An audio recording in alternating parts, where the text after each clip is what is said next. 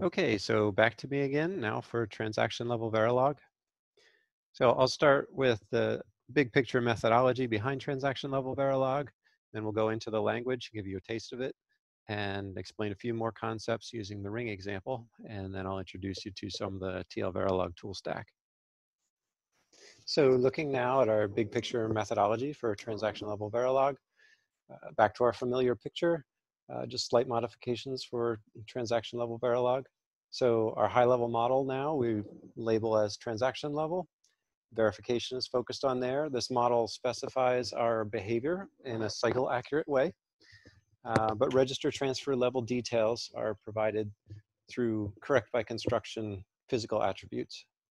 Um, and this transaction level model is both timing abstract and uh, understands transactions. And that statement will make more sense as we go through.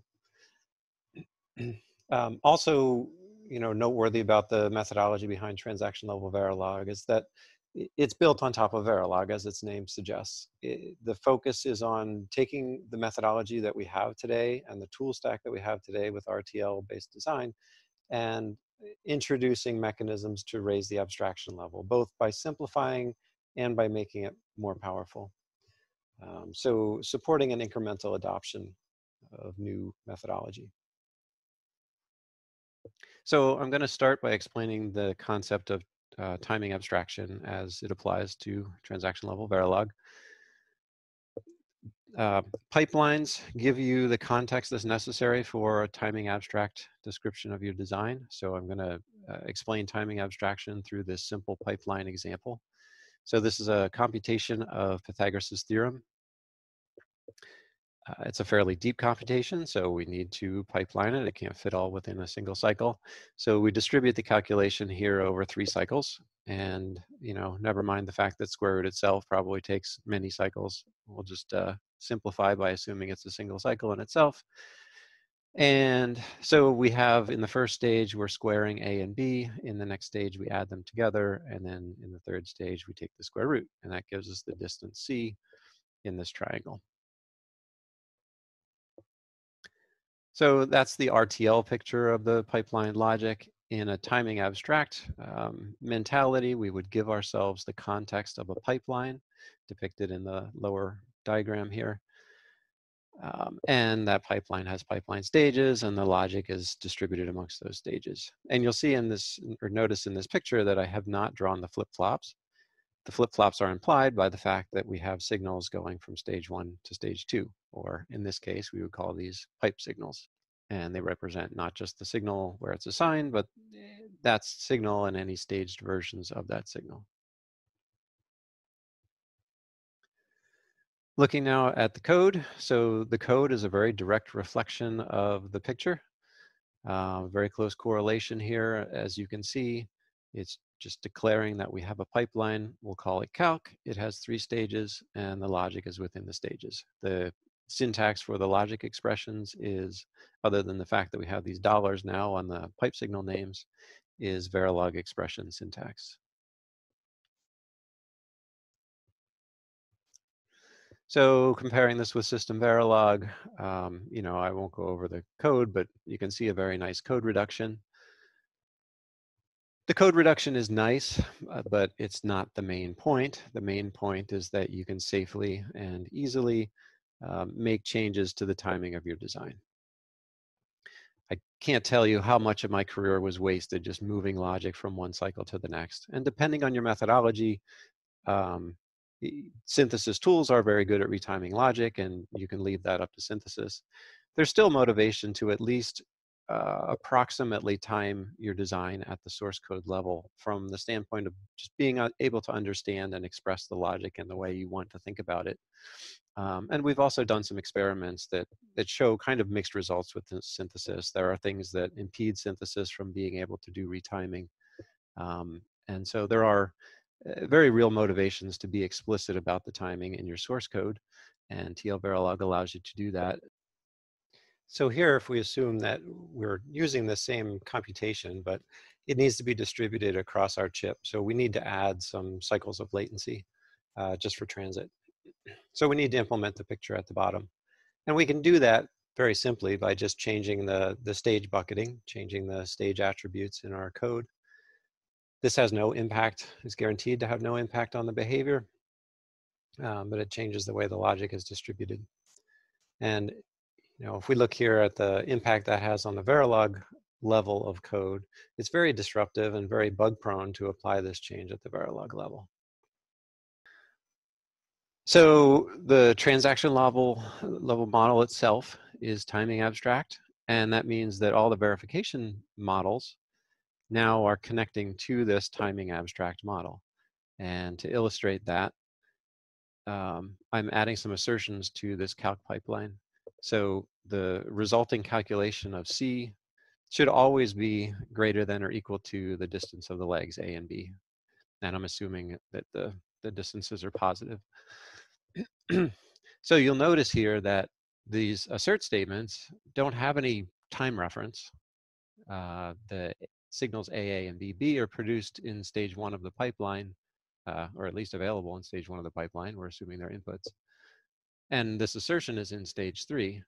The context of the pipeline provides the necessary information for the uh, checkers to know that they have to uh, essentially flop uh, A and B forward in order to do the assertion. All right, so moving on now to our ring example. Let me grab a pointer. Okay, so our familiar ring picture here, um, and I've redrawn that with a transaction uh, level mentality. Uh, timing abstract by giving this the context of a pipeline called ring. And I'm putting all of the logic in stage one of that ring pipeline. So this is kind of a degenerate case where we, we have a pipeline that only has logic in a single stage. And that's perfectly fine. We still get the benefit of having the pipeline context for the benefit of timing abstraction. If we need to retime this logic, um, you know, we find that there's a critical path, and there very well might be a critical path with the control logic uh, selecting the appropriate data in the MUX. And we want to optimize this for the, the data uh, flying through this ring. So if we need to move the control logic earlier, we might need to move it to stage zero so that the control signal is set up for the MUX to select the data. And we have the flexibility to do that. Okay, so uh, looking at the code, we're defining a generic uh, component for this uh, ring. It'll be given a name where it's instantiated and we'll put ourselves in that uh, context. We have a um, any number of nodes for this ring. We'll leave that generic and that can actually be defined externally, how many nodes we have. Each node will have a ring pipeline with logic in stage one. And the first thing we put here is the, uh, we establish the ring topology, the, the connectivity from the previous node into this node. So if you look up here, we're, we're grabbing things from stage two of the previous node and driving them into stage one of this node. So here we're reaching into that uh, previous node, and the previous node is uh, the node index plus one uh, mod four to give us the cyclic connection. And we reach into its ring pipeline. And this reference here can be read ahead by one. So ahead by one in this case would be our stage one plus one would put us in stage two of the referenced context. And we're grabbing anything from that context and driving it forward. The reason for this relative stage reference is that using relative references actually preserves the timing abstract nature of this design, the property that we can cut any logical statement out of a particular pipeline stage and put it into another pipeline stage and the behavior is preserved. Um, I won't say anything more than that given the length of the talk. Um, so the next thing here is the, the MUX for the data for the, we'll call it a transaction, you know, the, the packet or package or flit, whatever you want to call it. In TL Verilog context, we'll call it a transaction. So we are selecting that transaction either uh, from the ring, the previous node in the ring, which is in from ring context. So if we're if the previous node is has data that's continuing on the ring, then we will select that data. Otherwise, we'll grab it from this from node context where the input is made available. The other lines here, the other statements are the, the control logic. So is this valid? Um, and we um, can provide a reset here. Make sure the ring is empty when it's initialized. Uh, are we, is the, the transaction exiting or is it continuing? So that's, that's the whole uh, generic model for the ring. So nothing in here is particular to how many nodes there are, with the actual exception that I poured a hard-coded for in here, um, but that's not necessary. And uh, generic to the actual transaction that's flowing through this component. So we would refer to this component as a transaction flow component. Now we move on to uh, tools. And I'm going to actually exit out of my presentation here into my web browser where I've got a couple sessions of MakerChip up and running. So MakerChip is a platform that's provided by Redwood EDA for open source development of TL Verilog and Verilog models. And I've opened up the design that we were just looking at in the presentation. Um, and it's also got a little test bench here, just driving random stimulus to the, the inputs in from node and instantiating the ring. Uh, when I compile this, which I've already done, but I'll kick it off again, I get a logic diagram of my design. And so here's the input coming in from our test bench. So that feeds into this uh, MUX, uh, which is here. And you can see as I highlight things in the diagram, they highlight in the, uh, in the code uh, here as well. Um, so that mux enters the from ring for the next, uh, the next node and so on.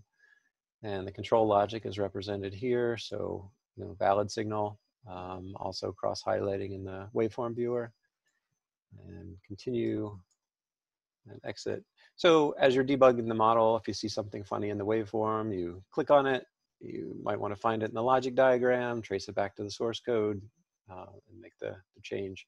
So it's a nice, uh, tight, compact, uh, you know, fairly lightweight um, environment to do all of your development from, you know, design to debug. Um, I've opened this up as well to show you guys kind of a sneak peek of a feature that's um, in the works called Visual Debug.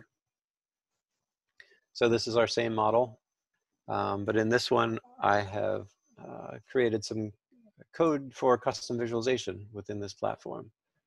Um, and that creates this visualization of our ring, which we can step through and see the packets uh, or transactions marching around the ring and finding their destination.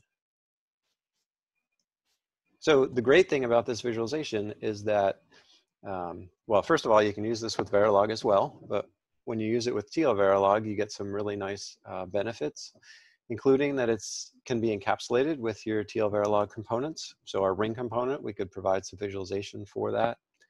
Um, and it sort of goes along for the ride as you use this component. Um, external, in this case, you would define the visualization for the transaction, and then the, the component would utilize that visualization. Over here um, in the code view, this is some of the visualization code, which I, you know, I won't explain it in detail given the time, but um, you'll notice here that the visualization code is referencing signals in their native TL Verilog style and that these references are also linked with the diagram to help you develop the visualization. So jumping back to the presentation. So just a couple other quick screenshots of visualization that we've put together so far. I'll skip this one that wraps up my portion on TL Verilog. I'd like to very quickly try to summarize the three presentations that you've seen. Hopefully I can do them justice. So Jan from QBayLogic presented for us Clash. Clash is built on uh, principles of functional programming. Functional programming is inherently parallel. Uh, it's inherently a specification of functionality. It's inherently executable and therefore you you by specifying the model get a an executable simulator out of that um, we saw extreme ab abstractions uh, for example the Um, use of embedded language as data types, which can be used to uh, characterize instruction set architectures. Um, you know, I know there's so much to the language that uh, 15 minutes really isn't enough to do it justice. Um, we saw PyRope from Jose from uh, UC Santa Cruz. PyRope natively supports a uh, development paradigm of fluid pipelines, which are extremely clunky to code in RTL, but PyRope makes it very natural. Um, and this gives you sort of data protection, um, preventing bugs in the control logic, preventing data from being lost, um, eliminating a lot of the uh, more squirrely uh, bugs that you can run into. Um, and this, by the way, you know, as I said, BlueSpec uh, is not represented today. Um, BlueSpec has similar properties of uh, data preservation through their atomic operations.